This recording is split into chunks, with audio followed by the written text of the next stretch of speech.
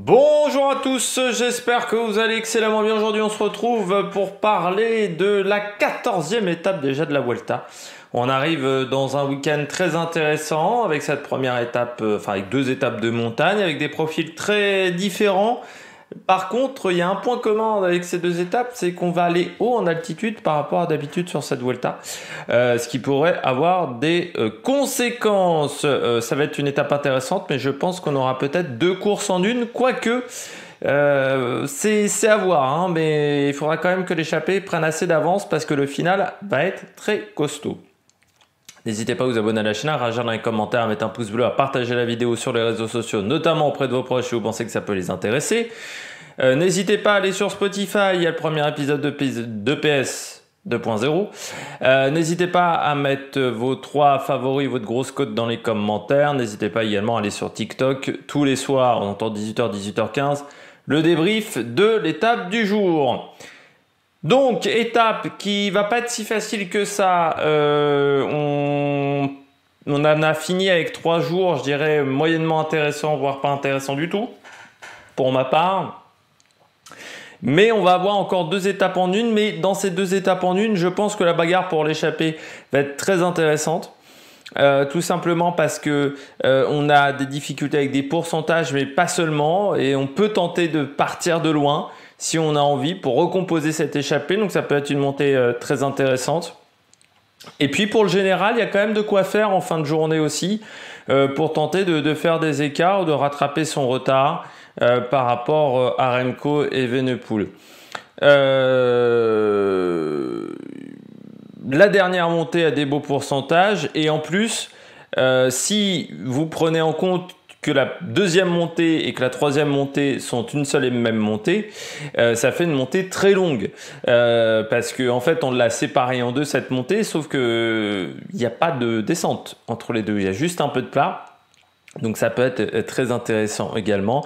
Après, est-ce qu'entre les leaders, on va se lancer la grosse bagarre alors que le lendemain, il y a la Sierra Nevada? Pas sûr. Mais ça serait dommageable quand même parce que cette étape peut permettre, alors je dirais pas de reprendre 2 minutes 45 ou 3 minutes, mais si vous reprenez déjà 40 secondes, 45 secondes, vous vous retrouvez plus qu'à 2 minutes, surtout si en plus vous arrivez à prendre des bonifications.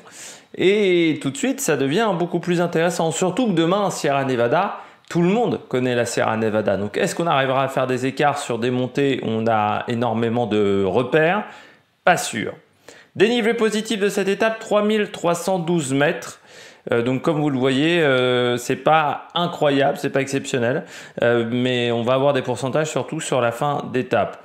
On regarde tout de suite le parcours, le parcours entre Montoro et Sierra de la Pandera, côte de première catégorie, 1815 mètres d'altitude. Et on aura un petit parcours autour de Raen euh, pour, euh, pour cette étape. Début de journée, sur le plat, on passera à Marmolero, euh, euh, Villanueva de la Reina, et on passera à Raen, ou Ran.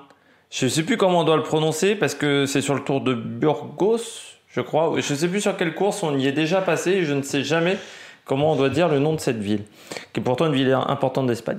Donc nous sommes au kilomètre 84 à ce moment-là, c'est-à-dire nous serons euh, déjà plus qu'à 60 bornes de l'arrivée quand on attaque euh, un petit peu le circuit final. Alors, le circuit final, on va en fait avoir deux boucles. On va avoir une première boucle qui va nous emmener au Puerto des Cestiers des, Pili, des Pililas, et puis ensuite un deuxième passage à Raen qui nous emmènera vers Sierra de la Pondera. En fait, Sierra de la Pondera, c'est sur les hauteurs de Raen. Euh, cette montée euh, du Puerto des Sieste Pilas qui euh, a été mis en troisième catégorie assez tardivement, il faut le dire, parce que quand j'ai pris les parcours il y a deux semaines et demie, trois semaines, eh bien, ce n'était pas une côte de troisième catégorie. Ce Puerto des Siete Pililas, 9 km 8 à 3,5 de moyenne, on sera à 925 mètres d'altitude, côte de troisième catégorie.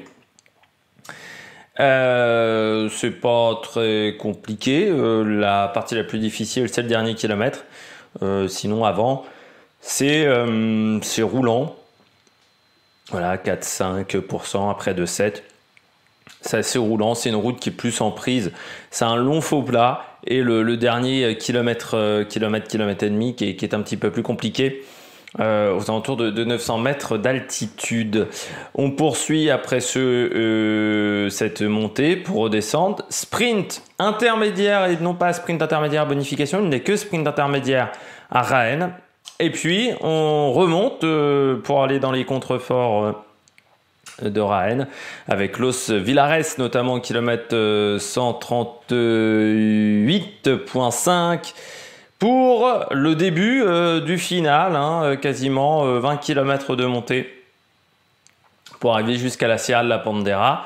Première partie de montée qu'on appellera le Puerto de Los Villares, 10 km à 5,5 de moyenne, sprint bonification sommet côte de deuxième catégorie.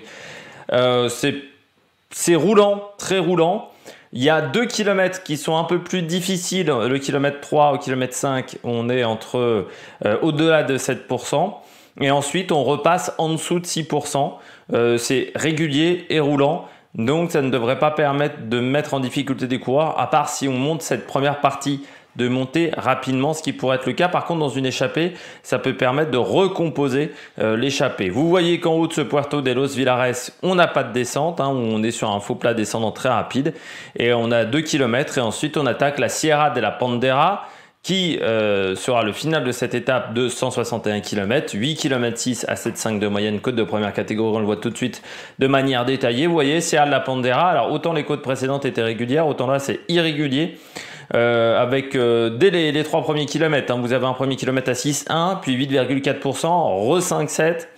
Ensuite 6,3%. Et là, on a deux kilomètres très difficiles au-delà de 11,5% pour ensuite avoir encore un passage à 7,8 et avoir deux derniers kilomètres qui sont moins difficiles donc c'est assez irrégulier, c'est court, mais on sera quand même haut en altitude et surtout euh, on dépasse les 1500 mètres sur quasiment les 4 derniers kilomètres. Hein. Donc ça aussi c'est à prendre en compte. On n'a pas atteint les 1500 mètres, je crois, depuis le début de la course.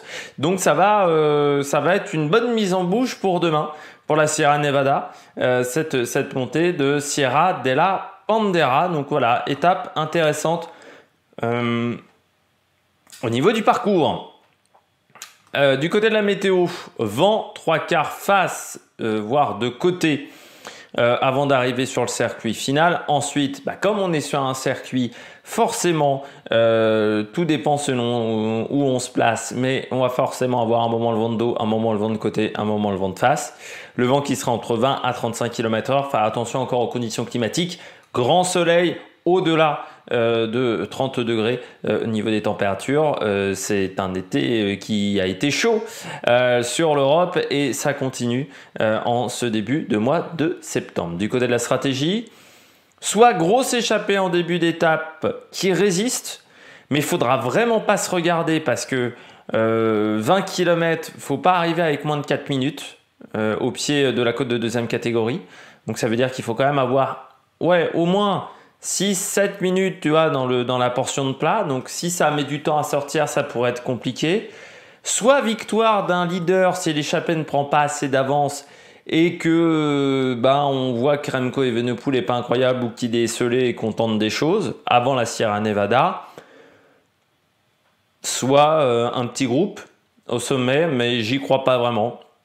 Je pense plutôt euh, à l'option numéro 1. Moi, je pars du principe qu'on aura plutôt une échappée et derrière euh, une bagarre pour les leaders. Du côté de mes pronostics, j'ai mis Bob Girls. On n'a pas vu le coureur d'AG2R. Ben O'Connor euh, vise maintenant, on va dire, le top 10 entre 8 et 12.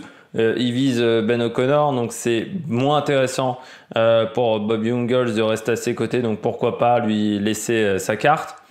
Euh, Lucas Hamilton du côté euh, de l'équipe euh, Bike Exchange qui reste un très bon coureur, un très bon grappeur. et comme on a pu Simon Yates, ça peut être intéressant dans Bike Exchange parce qu'il va falloir gagner des courses désormais chez, chez Bike Exchange dans l'équipe australienne. J'ai mis également, je retente mon Thibaut Pinot. J'ai hésité avec euh, à pas mettre Reichenbach à la place de Pinot, mais je retente mon coup avec Thibaut Pinot. Et puis en gros code, j'ai mis Domenico Pozzovivo avec des pourcentages, son petit gabarit. Faut pas sous-estimer Domenico euh, qu'on a peu vu hein, depuis euh, ce début de course. du côté des horaires de cette étape, on partira à 13h17 pour euh, un premier passage à Rennes entre 15h21 et 15h35. Le Puerto de Sétier Pililas, on sera au sommet entre 15h57 et 16h15. le Puerto de Los Villares, le pied, c'est entre 16h43 et 17h06 pour une arrivée entre 17h17 et 17h44 au sommet de la Sierra de la Pandera euh, pour cette étape numéro 14. N'hésitez pas. Euh, et puis, euh, faire attention également sur la montée, ce qui est précisé par les organisateurs. la route est étroite et l'asphalte est rugueux. Donc, forcément, le rendement ne sera pas top. Ce soir, débrief 18h, 18h15 du côté de TikTok, débrief YouTube complet à 21h, pas avant 21h. Présentation de l'étape 15 avec la Sierra Nevada demain, 7h30 dimanche. Euh, comme vous en avez l'habitude, n'hésitez pas à vous abonner à la chaîne, à dans les commentaires, à mettre un pouce bleu. Et puis nous, on se retrouve pour de nouvelles aventures sur la Mac Production. Ciao, ciao